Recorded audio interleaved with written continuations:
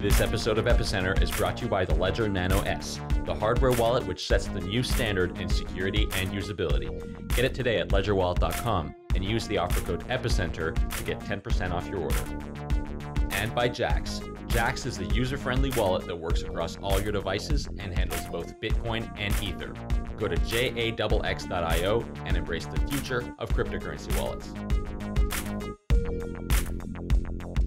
Hi, welcome to Epicenter, the show which talks about the technologies, projects, and startups driving decentralization and the global blockchain revolution. My name is Sebastian Couture. And I'm Meher Roy. Today we have a very special episode for our listeners. We're going to talk to Mona El Isa and Reto Trinkler. They are co founders of a project called Melon, Melon Port. And they're building what is what might just become in the future the network of blockchains and a decentralized asset management software to run on this network of blockchains. But before we get into their vision and what they're doing, let us have a quick intro from the two of them. Starting first with Mona. Mona, can you tell us a bit about your background and how you came to be involved in the blockchain industry? Sure. Um, I started um, my career in market making and trading equities at Goldman Sachs uh, back in 2003. Um, and then in 2011, I, I moved to the hedge fund world and uh, became hedge fund manager, uh, running a part of a long short uh, multi strategy portfolio. Um, and about uh, just over a year ago, um, I decided to take some time off to explore the world of blockchain and, uh, in particular, some of the uh, use cases for the technology to enhance what felt like a lot of inefficiencies in our industry met Reto pretty soon after that, and uh, we've been working together pretty much ever since. Cool. And and and Reto, tell us a bit about your background. When when since when have you been working in this space, and what have you been doing? Um, hi, I'm Reto. Um, I have a background in mathematics from the Swiss Federal Institute of Technology. Um, I've been following Ethereum more or less ever, ever since I first heard of it. Um, I've been working at Brainbot Technologies, um, and now I'm uh, working at Melonport, who is building the Melon project. So, as uh, Meher kind of put at the beginning of the show, this is this is sort of a a, a fundamental new concept that we're going to try to dissect today, and uh, we've we've been reading the white paper, and in fact, our listeners should know we tried to record this episode. Um, a couple of days ago and weren't able to really construct a, a, a sort of clear and sensible um, you know framework for how we're going to explain this. So we said okay let's let's come back on it and, and, and, and try to explain it again. So i hope that we get it right this time because it is fundamentally something that uh, is quite different from anything that we've seen before. And and to me it sort of feels a lot like when we first started talking about ethereum uh, more than two years ago, and that it, it's completely novel and it requires you to have a, a, a new type of outlook on how you consider uh, what a network looks like, and especially in the context of blockchains. So, um, Polkadot is, uh, and I'll, I'll, let you uh, sort of explain it, Reto, is a network of networks. It's it's a network of blockchains, and specifically, what it would allow uh, is for different blockchains, um, depending on, uh, regardless of their size, their functionality, uh, of the types of industries or people that they cater to, to interact together and to be interoperable, and essentially allowing for one blockchain to trigger events in another blockchain, uh, which would in fact allow this interoperability that so much of us has been sort of talking about and that, that has been um, defined as one major problem in in the blockchain space is how do we get blockchains to interact together? Uh, and so Polkadot, the, the white paper came out uh, a few days ago. It was written uh, by Gavin Wood, uh, who's famously one of the co-founders of Ethereum. And uh, I think this is probably one of the first times that you know the me the, the blockchain or cryptocurrency media will try to uh, to, to, to dissect this. So I, I hope we get it right because uh, it is very fundamental. So I, would like for you, Reto, now to explain sort of your vision of what Polkadot is and what it's trying to solve fundamentally. So we kind of see it as, as, as the internet of blockchains. Um, if, if you look at the Bitcoin blockchain um, and kind of see it as a, as a database, as a decentralized database, um, and we look at Ethereum and kind of see it as a world computer, as a decentralized computer, um, and, and we have all these different variations of it, like Cinero and, and all of these um, kind of other computer-like structures, um, then we can see Polkadot as, as the layer which finally um, connects all of these computers and databases. So, in a sense, um, what what you're trying to say is um, that we fundamentally have a sort of a coordination problem among among among these different blockchains, right? So historically, when we when we look at our industry, we have uh, we have kind of thought in terms of there's going to be one individual blockchain. Initially, with Bitcoin, we said, okay, there's going to be one individual blockchain and one individual currency to rule them all. You know, everything else is going to perish. There's going to be one blockchain with, this one currency, and it will be the blockchain, quote unquote, right? That's where we started. That's where our industry started. Then came Ethereum. And in Ethereum, it said, okay, we don't want to be really thought of as a blockchain. We, we want to be thought of as a world computer. So it's it's a it's a blockchain that is general enough to really be thought of as a computer. And although Ethereum never said it explicitly, when you say world computer, you assume that there's, there's, there's going to be one single one of them because only if there's one single network like Ethereum does it become the world computer. But if there's like hundreds of them, then there are hundreds of these, right? So somewhere intrinsically we were thinking, okay, there's going to be one big one giant world computer. And now with with Polkadot, the way I interpret your statement, Reto, is is saying, like we have to kind of cast aside these ways of thinking that there's going to be one winning network, one winning blockchain, one winning world computer, but rather think as that there are going to be a lot of different consensus computers or there are going to be a lot of different blockchains and they're all going to sort of coordinate together with each other work together with each other and they're going to form a network of blockchains and this network of blockchains will be singular like this will be the fundamental unit by which kind of our our industry is organized right would you agree with that I definitely would agree. Like that, there will be different computers, different databases, as there already are now. Um, I, I, think that's it's a good point. That, that I think it's unlikely that there will be one winning chain to rule them all, but there will be different chains with different abilities and different use cases. So I think, and and like all, all, all the credit goes to Gavin. Like I think that the genius of, of his proposition is is how loosely he defines basically what can be included into this network. Um, so it doesn't even have to be. I mean, essentially, it just needs to be a data structure that is validatable and globally coherent, and then it can be included. So it, it, it can even be a private chain. It can be a consortium chain. It can be you know, chain with proof of work, proof of stake, proof of authority. It's it's interesting, yeah. So before our show, we were kind of discussing different ways in which kind of we could explain this general concept itself, and we, we thought of a different analogies. Like like Reto came up with one analogy, and like I came up with another. So one way to think of it is the way like that kind of kind of kind of Reto uh, Reto is going to use during the show, which is that notion that in the beginning we had like computers, right? Like so the computer industry for since the 1950s until the 1980s probably there were individual computers, right?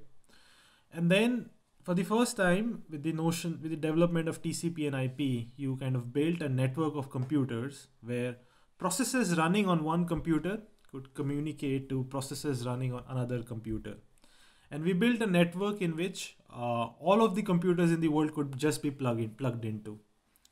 And, and the idea is you start to think of an individual blockchain as an analog of a 1950s or 1980s computer, which is like kind of standalone, not able to interact with other blockchain networks. And now the idea bit behind Polkadot is hey, can we build this new network that allows all of these blockchains to kind of coordinate amongst each other, to run processes that are shared between blockchains. So something happens here, something happens on another blockchain, something happens on another blockchain, something is triggered on another blockchain, things like this. That's one analogy. And then the other analogy we kind of came up with is um, this kind of problem has been solved by other kinds of technologies as well. So, uh, because I'm from a biology background, the way I think of it is that if some of you know that like in biology we have cells right? So the human body is made up of cells. And if you go back to the history of biology in, in form of evolution theory then the cells were invented like three and a half billion years ago and then for the next around 3 billion years the world only had like single cells. These were like bacteria and these were like archaea. They were the different kinds of cells that existed in the world. And like 600 million years ago, roughly, give or take a few hundred million years, a few tens of millions of years, these cells learned how to coordinate with each other, like work together to form organisms that consisted of not of one cell, but like of multiple cells. One of the fundamental you know, inventions that biology did was the invention of the nervous system. So if you think of the, your nervous system, your brain and spinal cord, what it's allowing you to do is there are cells in your in your in your feet and there are cells in your hand and these two need to coordinate in order to do something right? And your nervous system solves this coordination problem for these cells right? The leg can do something send a message to the cell of the hand.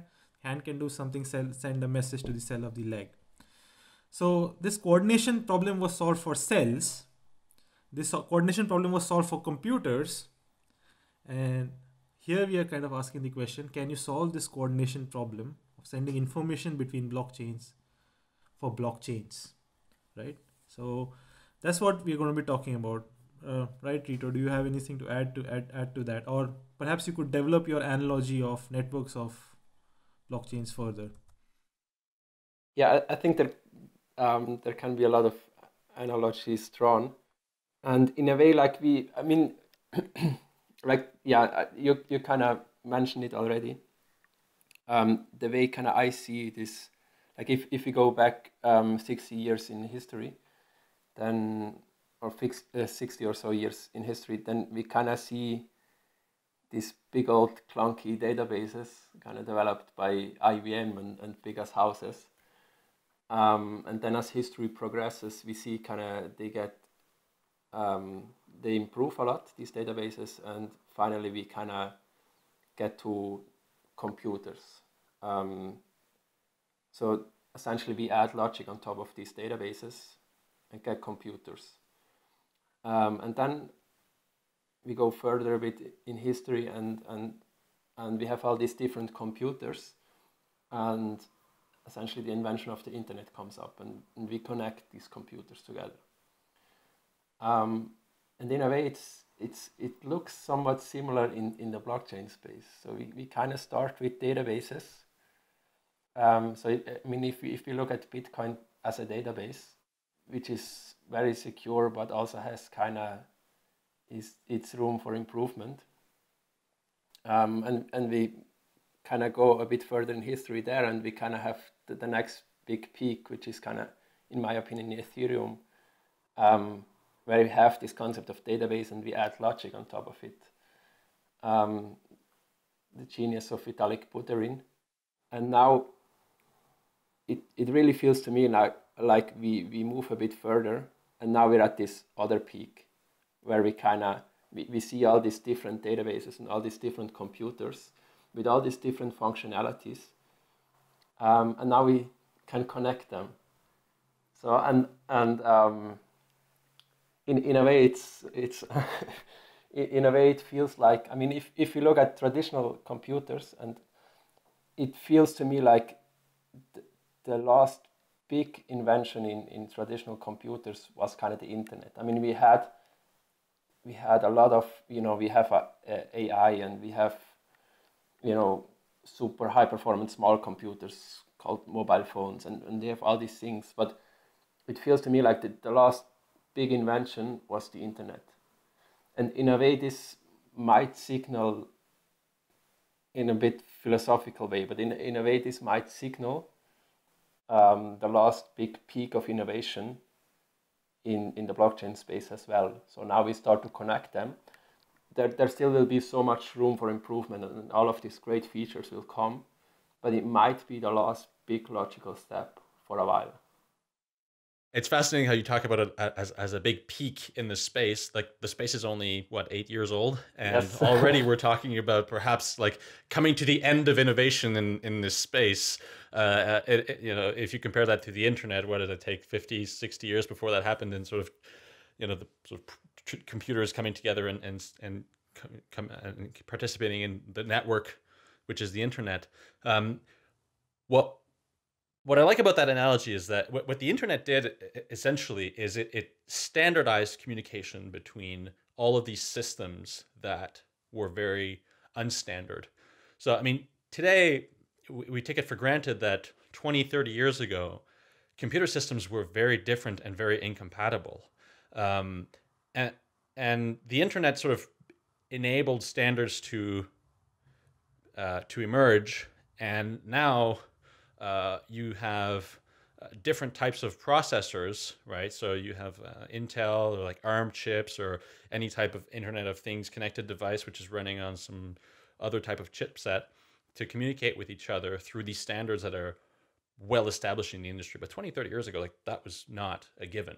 Um, and that's what sort of the internet and TCP IP enabled. And I, I see this as that leap, right, with blockchains is this network uh, protocol that would enable for a, a standardization at the communication level to occur not standardization of features you know because like cpus like processors computers whatever each of them has their own functionality and and and that's important but we need to have a a common language or common protocol that enables secure efficient and fluid communication between them. And uh, this is the, as as I start to construct my mental model around this. This is how I I'm, I'm seeing it. Let's take a break to talk about the Ledger Nano S, the new flagship hardware wallet by Ledger. I'll pass it over to Ledger's CTO, Nicolas Bacca, who can tell you all about Ledger's security features and SDK. So Ledger Nano S is a personal security device based on a secure element, a screen and button, so that you can verify everything that is done on device and make sure that you are really doing what you wanted to do. Compared to our previous solution, this device is based on the latest generation secure element, the ST31 from STMicro. The ST31 is, an, is using a secure ARM core, which means that you can have the same uh, ease of development that you would have on a generic uh, microcontroller, but benefit from the security features of a secure element. Security features uh, include an application firewall at the lowest level that lets you protect applications from each other, which means that you can load multiple applications on the hardware wallet, even post-issuance. And you as a developer will be able to leverage these features to load your own application without our authorization and without any kind of authorization from the vendor. We will be providing this device with an open SDK um, that let you do anything you want with this device. We provide sample applications for cryptocurrencies, different cryptocurrencies, so Bitcoin, Ethereum. Uh, we will also provide a FIDO authenticator, and you will be free to add everything you like. For example, you could add some secure messaging, some encrypted chat, and you'll see that the solution is quite powerful and very easy to develop with. The Nano S sets the new standard in hardware wallet security and usability. You can get yours today at ledgerwallet.com. And when you do, be sure to use the offer code EPICENTER to get 10% off your first order. We'd like to thank Ledger for their support of Epicenter. So let's perhaps dive in a little deeper. I think we've you know sort of covered the the analogies of what this looks like and what this enables. Let's talk about some of the core components of Polkadot. Uh, and I think it's important to um, define two uh, of the core components. One is the Polkadot chain itself, which in the white paper is called a relay chain. And essentially, that's what it does. It, relays communications between different blockchain networks, which in the Polkadot uh, context are called parachains. So could could you expand on that, please? Sure. So maybe maybe we start with parachains. So parachains are essentially defined as validatable, globally coherent, dynamic data structures, which kind of has, you know, Bitcoin-like blockchains, which has which has Ethereum-like blockchains, which has which has consortium-like or even private private uh, chains. Like it kind of encompasses all of them because all of them are validatable and all of them are globally coherent. Um, so essentially, yeah, if, if we see these parachains as data structures, and data structures can also be computers, or in the in the analogy could be like a smart a smartphone or like a high performance computer, a very secure computer. And, and we kind of plug them into the network. And then it's kind of, we need to have this, this TCP or, or essentially we, we need to have some sort of layer that they can kind of talk to each other. And this kind of layer of, of talking to each other, as you said correctly, is, is, is the relay chain. So the relay chain essentially relays information from one chain or from one data structure to another. That's a great start, right? So there are are parachains and then are relay chains. So you think of it like parachains, you can think of as cells or organs. The relay chain is like your like a spinal cord that relays messages between communications between the between them, right? Now let's kind of start imagining on um, on a deeper level what happens inside a parachain. So perhaps we could st- start with imagining uh, like just one parachain network individually and could you explain to us who are the um, important participants in one parachain network and what their responsibilities are so essentially if we start at a, a parachain and we said they need to be validatable and globally coherent essentially validatable is is kind of there need to be some sort of state transition function. Um, or, or in other words, there needs to be some mechanism to check whether or not the next block makes actually sense. And sense can just be like whether or not kind of it's within like within some standards of bookkeeping. Like if somebody just wants to add a million to his or her account, that essentially would break these standards of bookkeeping, and then the block wouldn't be valid. So that, that's, that's essentially what is meant by a state transition function. So, okay, if we start at the parachain, then we have uh, the participant called a collator. And what a collator does is essentially uh, he or she runs a full node of this parachain and just kind of um, delivers block to validators. And, and validators are participants in Polkadot which kind of just apply this state transition function on this incoming block. So they just kind of, so this is in order that validators don't have to have a full node of each blockchain or of each parachain. They just kind of need to have this, this state transition function. So so they only need to kind of validate if the next step or the next block actually makes sense. So, and kind of these validators are, are split into subgroups and each subgroup and randomly um, selected and each subgroup is kind of responsible for one parachain.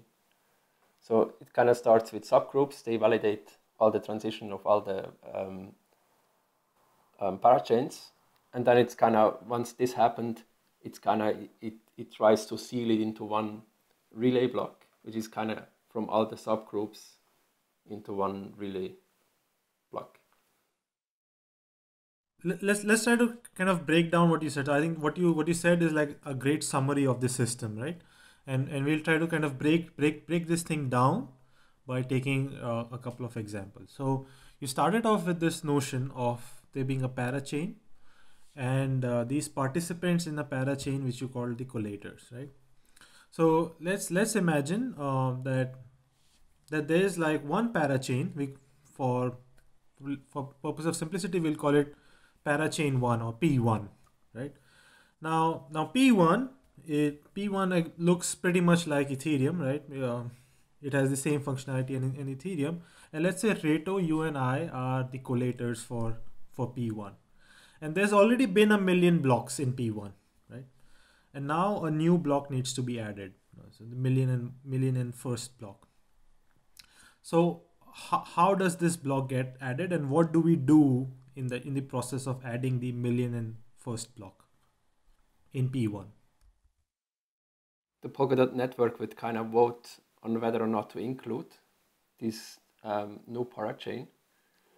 Um, and once this is approved, um, the essentially you and I, the collators of this parachain, would supply um, the information to validators.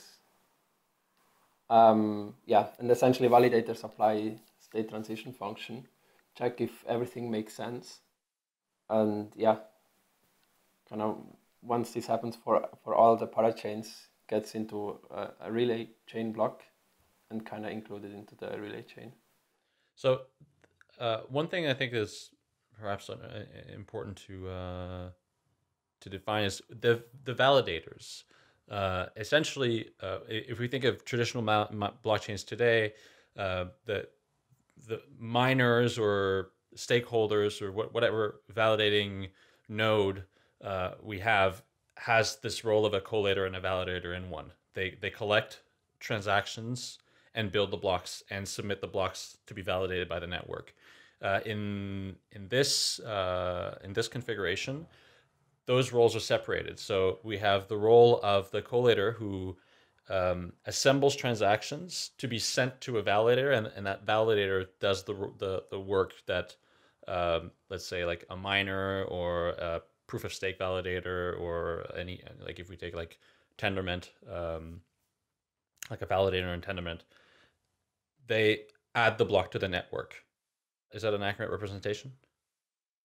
maybe maybe we need to introduce there's also the concept of nominator. Okay, so essentially I, I would see validators as the analogy of, of a mining pool. Um, and nominators are people who have a stake in Polkadot, um, but just kind of want to uh, nominate a validator to kind of do the validating on behalf of them. Um, so these people would probably be considered as the miners, uh, the validators as the, the mining pools, and the collators just as, as the people who kind of run a full, full node, who do the heavy work essentially, who deliver the data. So these validators are are not individual to one parachain, right? So uh, we, we imagine this one parachain P1, with, and the two of us were collators to this, and then we might in the further imagine another parachain like P15 and Sebastian and Mona will be the collators uh, collators for this. So if you have like two different parachains P1 and P15, uh, how will the validators like who selects the validators for these parachains and how are the validators initially selected at all? The validators are selected randomly um, into these subgroups so there, there's kind of two steps of, of validation. There is the validation of the individual parachain, and there's kind of the validation of the overall relay or of the overall Polkadot network. So it's kind of two times validating. So Reto, you've you've you've kind of you've walked through this uh, concept of uh, the parachain and there being collators inside the parachain, and then uh, we introduce like a new party which is the validator, right? So can you tell us who is a validator? How is the global pool of validators created? And then uh, further, uh, what kinds of interactions exist between validators? Essentially, a validator is can be seen as as, as um, participants who who keep the network secure. So essentially, people who put stake, like stake in DOT uh, tokens, the underlying tokens of Polkadot, um, and bind them to the network, essentially with kind of vouching with these tokens for their accuracy of what they validate. So if, if they don't validate accurately, kind of their stake is at is in danger. um, these people will be selected according to a staking pricing algorithm. So the network needs to incentivize these people um, that they put stake into the network. Like this, the same way as um, in a proof of work network, there needs to be an incentive for people to buy hardware and to actually mine. And it's the same here. So the, the selection that's the selection process will be yeah essentially an algorithm which kind of has as inputs like how much does a person want in return for their stake and how much stake is this person actually willing to commit um, and then once once we have a set of validators which as of now probably is 144 um, this set of validators need to be grouped into subgroups um, so that they can kind of validate the individual parachains. And this grouping is done randomly. So what you're in a sense trying to say is that there's this central relay chain that is um, essentially like a coordination chain that helps with the task of coordination. And the relay chain has this native asset, which is dot right? So just as the Bitcoin blockchain has a native asset, which is Bitcoin the currency, Ethereum, Ether the currency, Polkadot relay chain has a native asset, which is dot, right? Yes. The unit is called a dot. And now um, this dot is like freely tradable on the exchanges like any currency, but uh, but once once let's say uh, a holder like let's say Brian, like let's say he owns a lot of dot units so let's say there's a million dot units and Brian owns, uh, sorry, there's 100 million dot units and Brian owns, let's say 2 million of them. Then Brian can essentially uh, stake his dot units in order to become a validator. So he uh, hands over control of these uh, dot units to the network and in exchange he kind of becomes a validator. And then he can validate not only the relay chain but some of the data of the parachains themselves. And we'll walk into how uh, how how that happens. So different participants different owners of dots can kind of deposit their dots and become validators and this defines the global pool of validators right? Is that right? Yeah exactly. Okay. Today's magic word is dot d-o-t head over to letstalkbitcoin.com to sign in enter the magic word, and claim your part of the listener reward.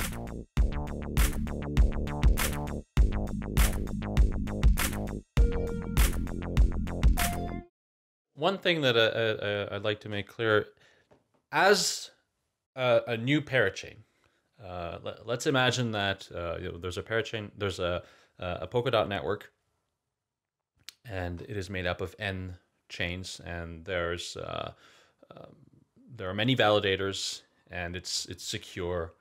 Uh, as I, I want to create a new parachain, I want to create a new chain specific to uh, a use case that uh, let's say let's say I want to build a, a blockchain for the French insurance industry, and I want to participate in the Polkadot network.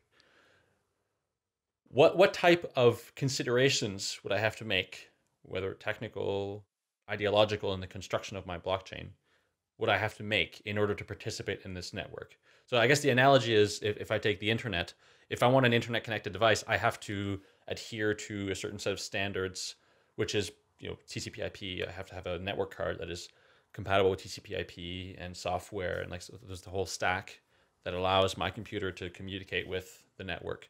If I'm constructing a parachain uh, and I want to participate in the Polkadot network, what are the considerations I have to make to do that? That that's another um, really feel really, in my opinion, really a beautiful thing about this proposal. Um, okay, so I, I usually see, okay, if, if we take Ethereum and, and we look at it as a computer, um, and then we take smart contracts on this computer. I mean, smart contracts on this computer can then kind of be seen as software running on this computer.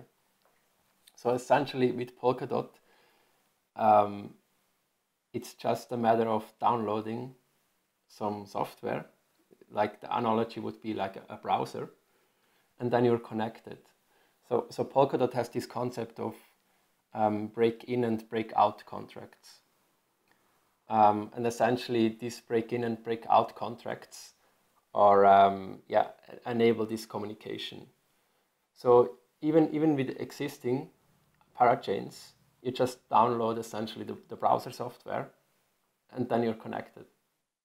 So this this software um, would need to. So let's take a concrete example. Like let's say I'm building a permission Tendermint net, style network, or maybe Hyperledger, right? Like a permission network using one of these permission protocols.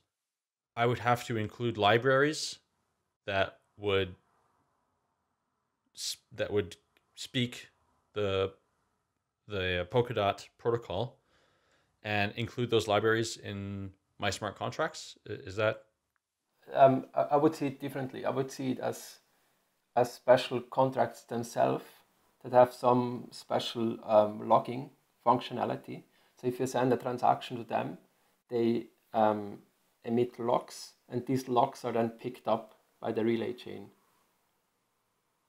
So this is this is this is like the breakout. So if you want to send a transaction that goes beyond Tendermint, you just send it to this one contract, and then it gets picked up by the relay chain, and the relay chain um, sees that okay, this transaction wants to get out, uh, and within these logs, there essentially, or within this transaction, there essentially is the destination uh, parachain and and the information it should contain.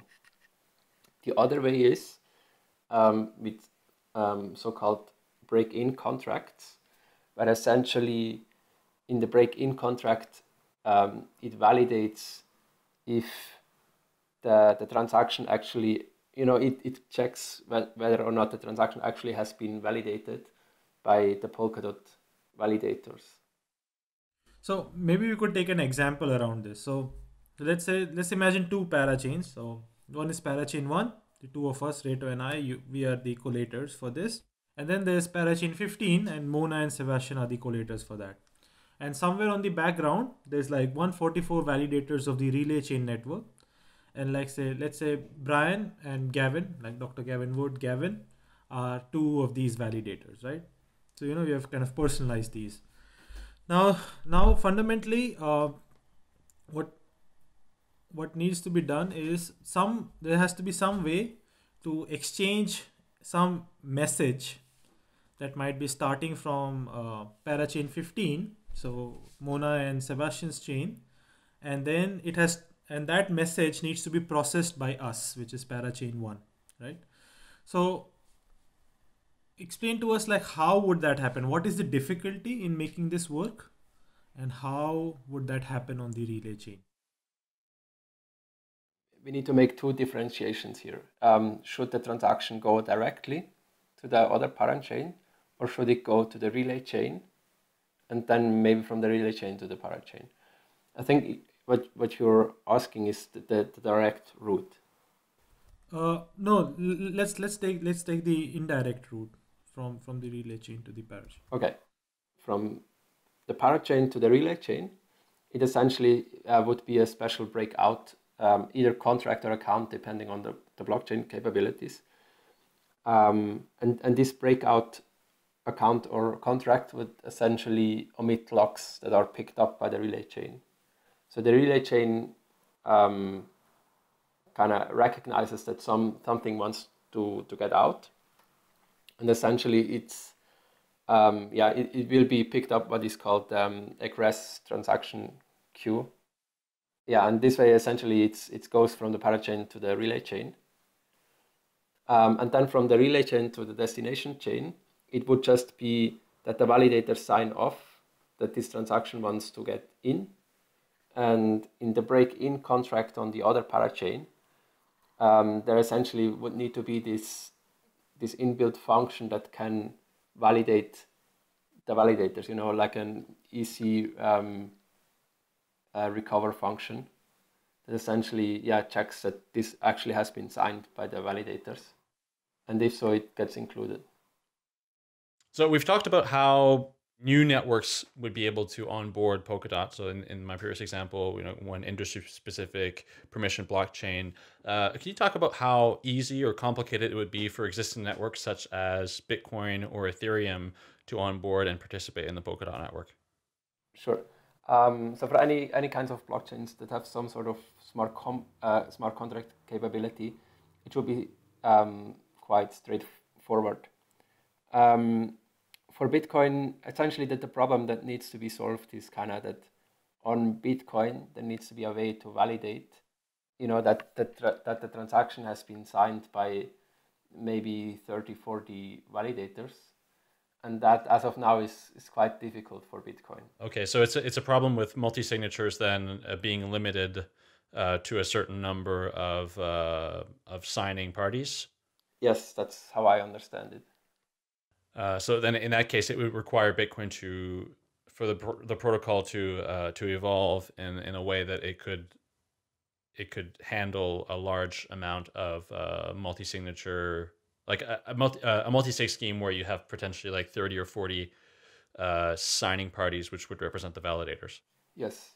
Okay. Let's take a short break to talk about Jaxx. Jaxx is a multi-coin wallet created by the people at Decentral.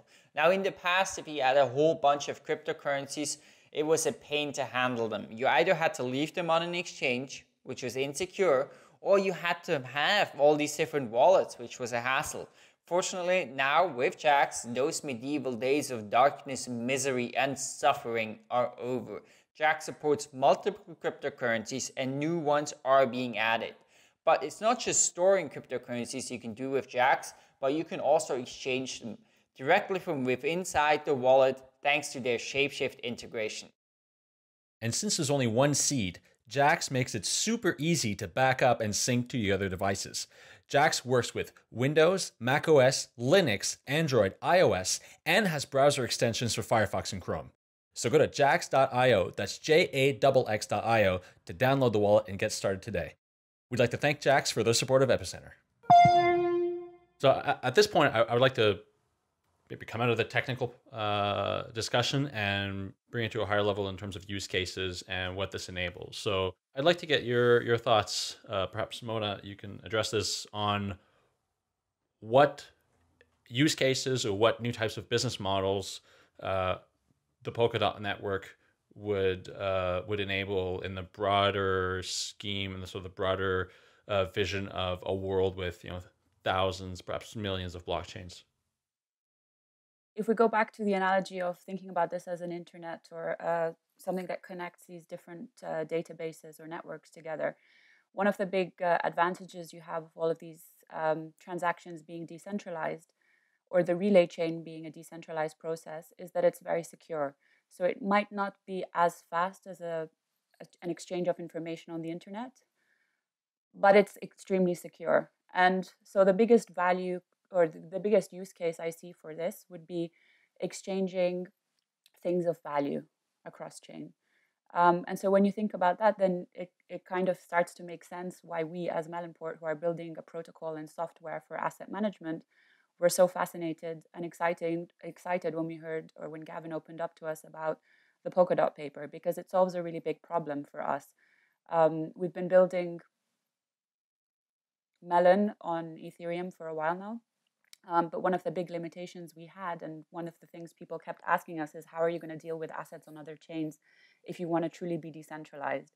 And for it, for us, Polkadot really opens up this opportunity, and it's kind of why we wanted to make it happen faster um, so that we could we could sort of uh, deploy Melon on Polkadot essentially from day one. Let's dive then perhaps dive into Melon then. So the what what what you're trying to solve with Melon, uh, and and I'd like you to explain uh, essentially what Melon is and what you're trying to do is uh, being able to transfer assets or transfer value from one blockchain, let's say like Bitcoin, to another blockchain, like for instance, uh, decentral, uh, decentralized capital uh, euro pegged uh, token, uh, or from an Ethereum contract token, you know, which represents some sort of asset to like a private chain that represents some sort of other asset, and you needed to have a protocol, uh, or what you were missing was a protocol that would enable this uh, this transfer of value from one blockchain to another. Can you can you talk about that in, in the context of Melon and the business that you're building there? How Parachain solves that problem? So actually, the, the Melon protocol itself is a protocol that basically um, enables people to set up funds in a in a kind of non-negotiable way. So it standardizes performances, so you can start to compare different uh, fund managers or portfolio managers, and it also stops the embezzlements of funds. So just like the Ethereum and Bitcoin protocol stop people being able to transfer a million dollars from one account to another, the, the Melon protocol stops a fund manager just being able to transfer that money to his or her private uh, another another account, friend's account, or whatever. So that's um, the setup process, and then there's this kind of management process. So I think this is the first proposition, at least that I know of, to set up and manage decentralized funds. But our limitation was that in order to stay completely decentralized, you have to the only thing you can uh, keep in those portfolios, which by the way, there's a lot of uh, on-chain tokens on Ethereum. Um, but the real um, the idea becomes a lot bigger when you can start to gain exposure um, in those portfolios to assets on other chains. And maybe if digital assets become more mainstream, potentially one day on private chains or consortium chains. And, and possibly not just um, limited to tokens and um, currencies, but maybe one day you'll be able to hold intellectual property or uh, anything you can really imagine in these portfolios. So this this Polkadot element kind of really unlocks this for us because um, Melon starts to become a much bigger idea um, in terms of an asset management proposal. That's a very interesting concept. So the, the, the, the, way, the way I'm kind of thinking of it is so so so Melon Melon the the project itself is enabling like fund managers who are uh, who basically specialize in figuring out which places to invest money in uh, set up their portfolio. So what, what a portfolio means is okay there's like imagine like the smart contract system where uh, you can you can get investors to invest in your portfolio and then you will buy other assets on their behalf. And then when the other assets appreciate some of these returns are fed back into this investor. And all of these interactions are managed by a smart contract system right? Now uh, in a sense like a really good asset management uh, smart contract system would enable the, the fund manager to invest in a wide variety of assets right? Like for example if I open a brokerage account in uh, in the united states uh, then maybe i can as a fund manager invest in like 5000 different shares of different companies. So you you want a lot of assets to be enabled for fund managers and uh, a global network like Polkadot gives you exactly that kind of reach because there are lots of lots of different blockchains, lots of different assets, and then these fund managers would be able to hold all of the these in their portfolios. Exactly, Meher. You've got it spot on. Yeah. So it's it's it's the reach, um, but it's also um, we also profit from the extensibility. So the same way, you know, this this internet can connect different computers with different abilities, um, kind of we as the Melon project can also kind of utilize this. So if, if we have, if, if we want to have, um, like if we want to have our protocol on a chain that has zero knowledge proofs, we might, or we, we can essentially just take the idea that is the protocol and just implement it and deploy it on, on this computer, on this chain, essentially giving um, our users the option to now have these, these portfolios with zero knowledge proofs and not kind of um, dilute the tokens because it's all kind of the tokens are kind of on the network. Um, so that so that there is no conflict of interest there. So that yeah that that we can use. I guess to summarize it's all about giving the user a choice and not limiting the user uh, in any in any way. So um, enabling them to invest in as many assets as possible and also to deploy set up deploy their funds on uh, any any network they may choose in future. Um, because if we go back to analogies that we discussed in future, some people, if you're setting up a, a high frequency fund, you may you may choose a network or a, um, a blockchain that can can handle high frequency trading. If you're mostly concerned about uh, privacy, you might uh, choose a different kind of blockchain. And so by having um, this flexibility, um, we kind of overcome this and become more neutral and just allow the user uh, to, to decide how they want to deploy their portfolio. And you can think of Melon at this stage as an idea that can be deployed on any network which has the flexibility to do so because of Polkadot. That sounds re- really interesting. So can you walk us through like um, so you, we have walked through these two concepts. One is like the Polkadot network, and then there's one application of the Polkadot network, which would be decentralized asset management in the form of Melon. So can you walk us through like how you are planning to develop these concepts further? Because as I see it, like Polkadot is kind of a theoretical concept that was that is a paper written by Dr. Gavin Wood, and then you yourself have a paper around how decentralized asset management would work on Ethereum. So how does this get translated into reality in the future? Sure. I think the idea is that we recognize there are um, certain elements, uh, such as deciding on, for example, the exact consensus mechanism, um, or you know the exact inflation to build into some of these tokens, etc., that need to be further researched. And rather than rush them, I think the first thing we'll do is enter into a research and feasibility study uh, together with um, with the parity technologies. Um, the the idea is that we have a um, a contribution period coming up soon where we'll um, issue uh, tokens in both DOT and um, Melon, um, and um, and the initial uh, goal with these funds is to start with a, a feasibility study and kind of so Reto. Uh, Reto and our team to work very closely with uh, Parity Technologies and in terms of finalizing some of these details and making sure we uh, approach everything from from from the right uh, place. And once we uh, complete this feasibility study and conclude uh, that it will be possible, we'll continue with um, uh, the we as in Melonport will continue with the development of uh, Melon protocol to a phase two, um, where we hope to be able to go live, and then we will enter into a development agreement with Parity Technologies um, to launch the um, the Polkadot uh, to build the Polkadot network, which we will then deploy with Melon uh, onto it at, at, Genesis block. Okay, so so, so this as I this as I understand it is like uh, in order to execute the development of, of both of these technologies, you're going to have this contribution period where you solicit uh, contributions from various people around the world do you have any timelines on when when this would happen and what shape that would take sooner than later i would probably say. Uh, the exact date hasn't been finalized although i think we'll be announcing more information on that very shortly.